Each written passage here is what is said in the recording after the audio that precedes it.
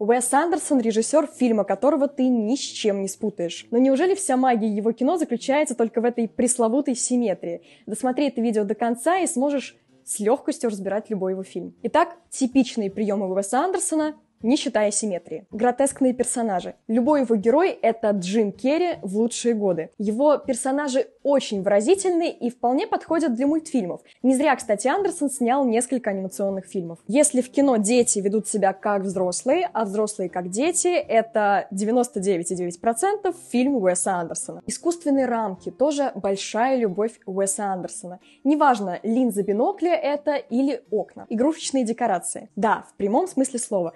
Вспомнить хотя бы знаменитый отель Гранд Будапешт из одноименного фильма, который выглядит как кукольный домик. Андерсон очень любит подчеркивать искусственность своего мира.